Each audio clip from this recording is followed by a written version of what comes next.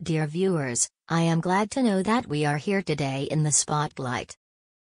Together we will explore a very interesting and fascinating topic. The hidden legacy that none other than Queen Elizabeth left to her beloved grandchildren has been revealed.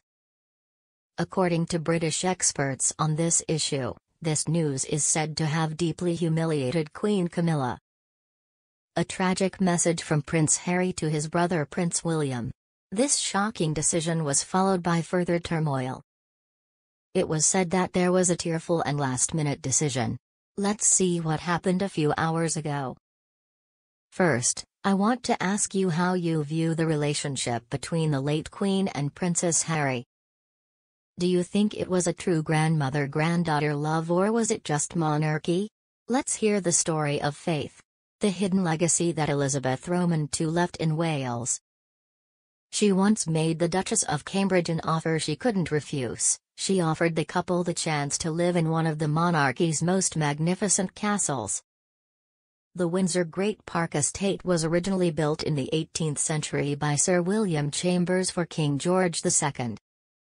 The fortress was designed as a folly, a decorative building with no real defensive purpose, and was part of the vast Crown Estate estate.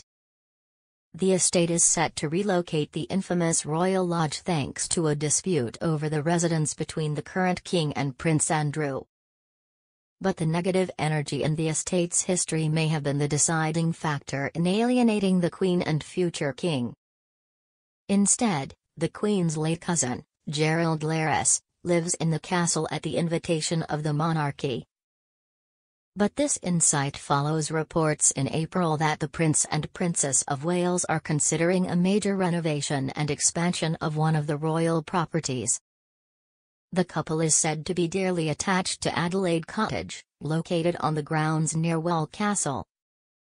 But in terms of protocol, it is not as big a place for the couple and their family as Anmer Hall, their Norfolk country home, where Queen Elizabeth has a memorial, especially with Camilla. Although many obstacles prevented the current queen from realizing her wishes, she has always been very flexible with her grandchildren, almost like a mother speaking to her son. It is worth noting that the late king offered Frogmore Cottage in Winter Park as the new home of the former Duke of Sussex, a legacy that is said to have upset Parker at the ball.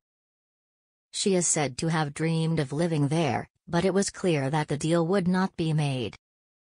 At the time, she was very upset and felt humiliated in front of the circle having vowed to place her own mansion next to Prince Charles's. It is also worth noting that Queen Elizabeth has always kept a considerable distance from Camilla, as she wants to be the center of attention while her husband works from home. She is determined to fulfill her duties and support his treatment. The source said she is still finding this news harder to bear than her previous happy public appearances. Another source she met this week disagreed. There is resilience, dedication and optimism. Princess Anne, who has one of the busiest schedules despite being less in the spotlight, did not hide her frustration at the lack of younger talent to replace the older generation. In my opinion, a fragile monarchy doesn't seem like a good idea, she said.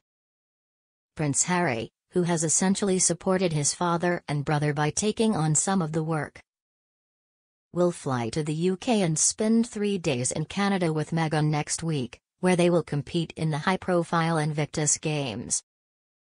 As the feud between Prince Harry and Prince Williams continues amid the royal health crisis, experts believe the situation between the brothers would have been different if their mother belongs to the dreaded sandwich generation of worries. Princess Diana was still alive. Young family and father, Sources say Prince William is in the same situation as hundreds of thousands of other people across the country, but he's doing so under the guise of exaggeration.